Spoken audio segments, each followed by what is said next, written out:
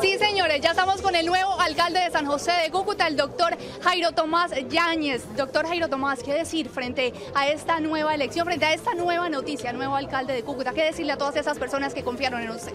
A ver, muchos sentimientos encontrados, porque obviamente de la emoción de un ciudadano que registra con el mayor afecto el respaldo de unos amigos, el respaldo de mucha gente que tuve oportunidad de conocer y de visitar en este paso a paso por la ciudad. De manera que feliz, contento, eh, un momento muy grande de reflexión sobre el paso a paso que nos hemos comprometido en un programa de gobierno. Hemos venido escribiendo un plan de trabajo desde hace algunos años. Como empresario y siendo viviente y permanente de tantas dificultades en la ciudad, sobre todo en el ejercicio del tema corrupción, el dolor de cómo lamentablemente se malversaban los recursos públicos. Hoy con dolor eh, tenemos eh, la noticia triste de un gobernador suspendido, un alcalde comprometido, muchos dirigentes anteriores a estas gestiones, todos con muchas investigaciones y eso obviamente permea las situaciones de sentido de pertenencia de la ciudad. De manera que, por eso te digo yo que muchos sentimientos encontrados y el gran compromiso por cumplir. Eh, un ejemplo para el país, con pocos, muy pocos recursos, con eh, el apoyo incondicional de mucha gente.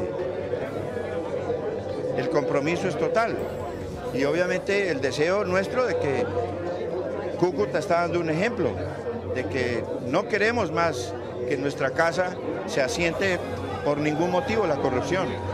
Es el terreno sucio, hay que limpiarlo. El sueño de ciudad que tenemos lo queremos construir sobre terrenos limpios. Y esa es la meta inicial la meta inicial, cambiar todo el esquema de política que con el que se ha venido trabajando en Cúcuta, acabar la, corrupción. El primer reto que se, trata, eh, que, se traza Jairo Yáñez. Recordemos por qué la frase del viejito zurrón. El viejito zurrón es un tema didáctico, es una manera diferente y, no, o sea, la política lamentablemente en Colombia ha sido como muy acartonada, eh, muy, muy dura. Queremos cambiar ese esquema a partir de aprender de cómo vivir en comunidad, porque hasta el nombre de política ha estado muy desgastado, posiblemente con base en entender cómo aprender a convivir en ciudadanía nos permitirá poco a poco de manera didáctica sobre, todo transmitirle a estos niños. Estas generaciones de futuro son las que tienen que ser las, eh, decir, las respuestas renovadoras de un plan de trabajo, los jóvenes. Las universidades en Cúcuta lamentablemente muy poco participan hasta ahora del ejercicio de, conducción de ciudad, de aprendizaje de los problemas de la ciudad. El propósito nuestro es sacarlos de los salones a los muchachos, de los colegios, para que convivan con tantas necesidades no solamente de tipo social, sino también de aprendizaje para poder implementar una estrategia de competitividad, que es la, la palabra sagrada a partir de la fecha. Competir, mantenernos en competencia.